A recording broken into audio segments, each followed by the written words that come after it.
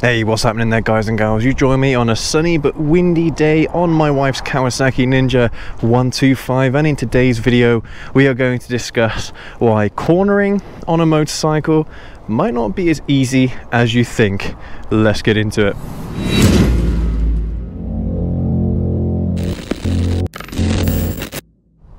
So, interestingly enough, cornering is one of those things that when you start learning to ride a bicycle or a motorcycle for that matter, actually starts to come quite naturally, to be honest with you. A lot of the turning that's involved is kind of coordinated with the balance side of things. So, from that standpoint, a lot of the cornering comes naturally as you practice.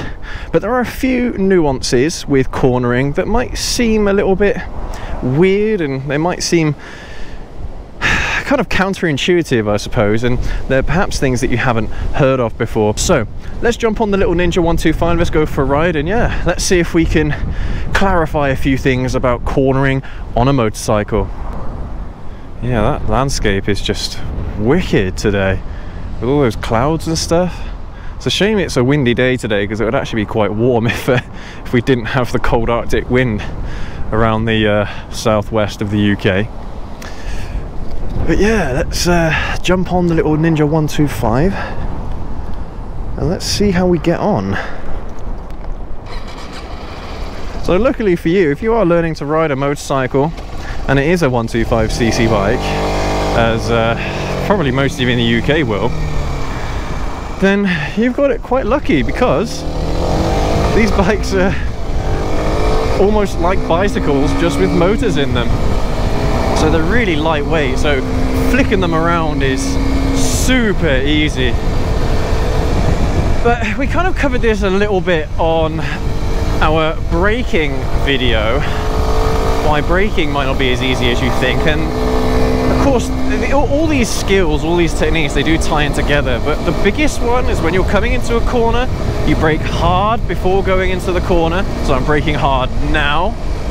Going down a gear letting go of the brake and then turning the bike in. Now if I need to slow down more I can go down a gear, rev match and that will slow me down even further.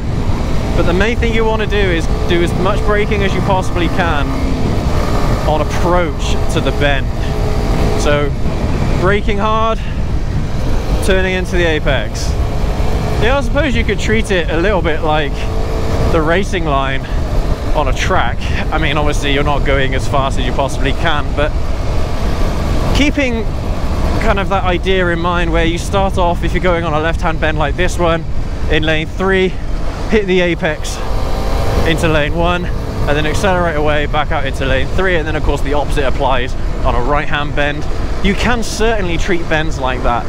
And to be honest, it's probably going to be safer for you because a lot of the time, if you're moving over in lane one like this turn here, I can actually see further around the bend than if I was in lane three, for example, or lane two. So it does make sense to change your lanes as you're going into bends. So yeah, I mean, of course, don't, don't treat don't treat the street like a racetrack, of course, but you can apply some of the same ideas, I suppose.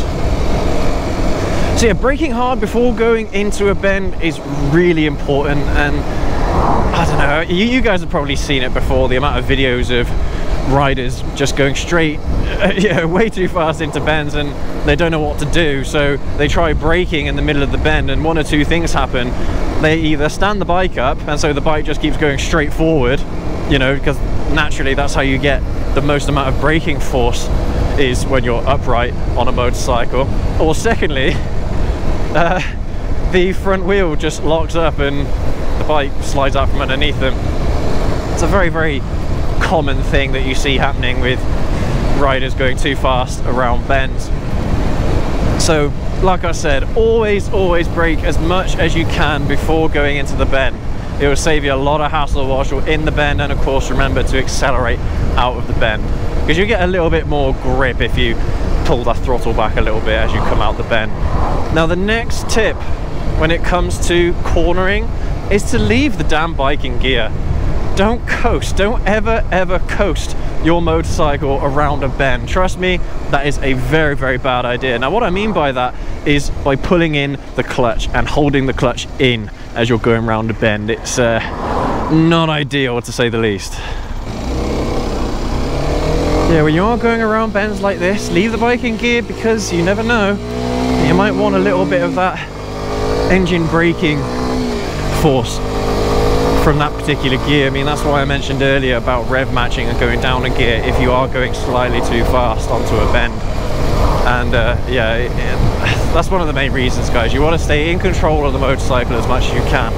And believe it or not, all the times when you are moving and you have the clutch pulled in, you're not in control of the bike. Yeah, so it's really, really important that you keep that clutch out when you're going around bends. Now, this is a funny one, and uh,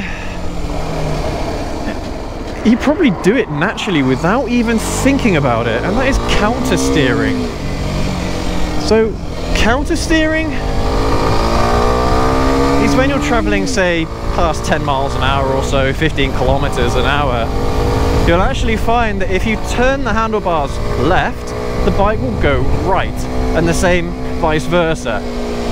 So, let's see if we can come up to a bend here and I'll and I'll demonstrate but it might sound counterintuitive and yeah I, I suppose it, it kind of is but a lot of the time if you are having to do like an emergency evasion maneuver or something like that counter steering is the quickest way to turn the bike around so we're coming up to a, a slight bend here I'll just go up a gear oh no yeah, yeah we, we've got a few bends coming up and I'll demonstrate counter steering now even just then, I, I kind of wiggled the uh, the handlebars ever so slightly, but look, here we go. So I'm gonna turn the handlebars left and the bike turns right.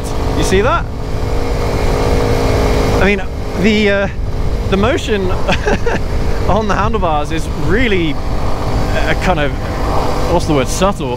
But here you go, so right hand bend, or excuse me, left hand bend, and we're turning the handlebars right. Now I'm gonna drop down a gear just because we're going up this hill, but so I didn't even have to turn the handlebars that much to get the turning or the uh, the cornering angle that I needed.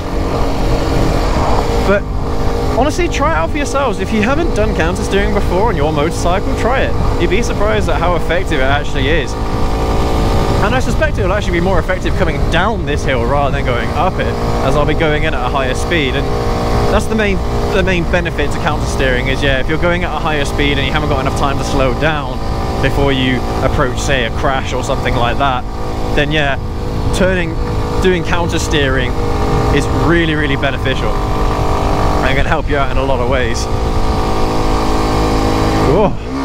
Still 125 is struggling to get up this hill. To be honest I might just turn around and come back down the hill. I don't know. But we'll see. Go, counter steering again. Counter steering, you see? I'm not even pushing or pulling the handlebars that much. But it's making a, a massive difference. Because you, you, can turn a bike uh, what's, what's the word in the conventional way I suppose you could call it the conventional way so I'll try it here so I'm, leaning into the corner and I'm actually pulling on this left handlebar here. I'm actually pulling on it to give me that that kind of turning pressure or that, that turning angle. But yeah, I'm going to turn around, I think. No, no, no, I'm not actually. I'm going to keep going the way, the way I'm to think I know my way out of this little village here. Yeah, counter steering, very, very effective. I mean, just, just doing these things. And by the way, it doesn't matter which way you have your, your body weight. If you have your body weight in a particular stance, say upright, and you're not leaning into the bend, the bike doesn't care. As soon as you try counter steering, the bike is going to go in the opposite direction, regardless of where your body weight is. Obviously, it's better for you to have your body weight going into the bend. I suppose if you're trying to go as fast as you can, then maybe that's the case. But for normal street riding, you can actually have the opposite weight if you like instead. Oh wow, so we've reached we've reached some serious traffic here. Ah, we're approaching a bend, which is very helpful for viewing what's going on up ahead. Yeah, filtering on a bend isn't the best thing, but oh, this lorry driver is letting me through. What a legend. Thank you. Thank you very much, mate. That guy is awesome. Fair play. He saw me in his mirror and let me go through. That is freaking amazing. On a bend as well.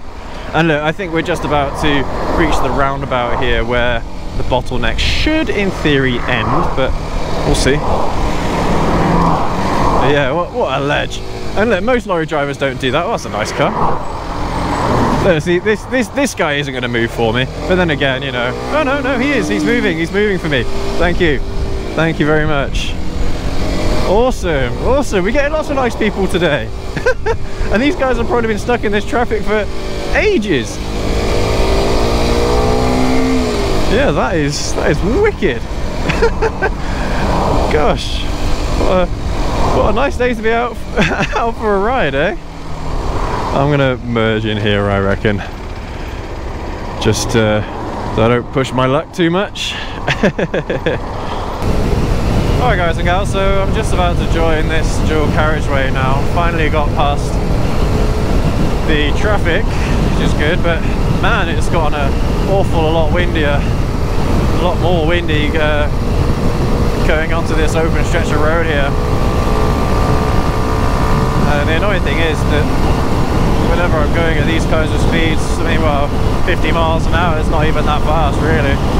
But when I'm doing kind of highway speeds, motorway speeds, and there's heavy winds,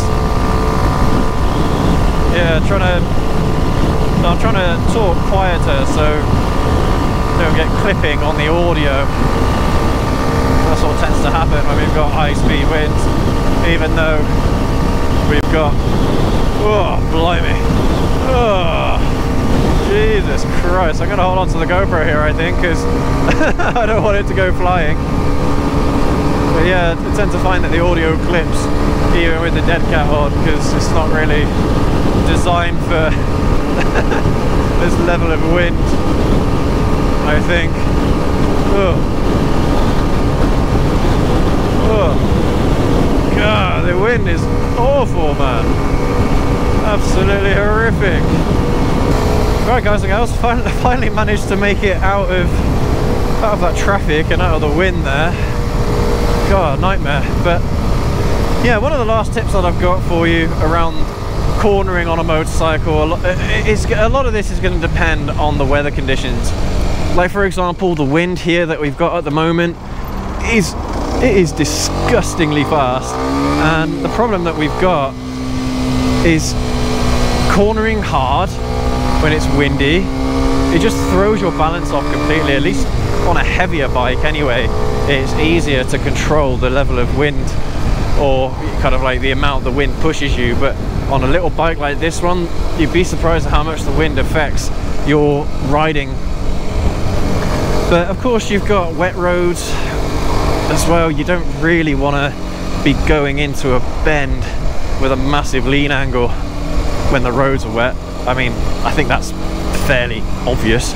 I think most of you lot will know that already as well. On dry roads, yeah, it's pretty easy going into bends quite sharply, getting getting a nice amount of lean angle, but yeah, when the roads are wet, take it easy. Try and keep the bike as upright as you possibly can when cornering. But yeah, guys and girls, I think I'm going to leave the video here. I think I've been through all of the tips that I had in my head anyway for this moto vlog. So thank you ever so much for watching. Thank you for joining me on this on this lovely-ish windy windy day's ride.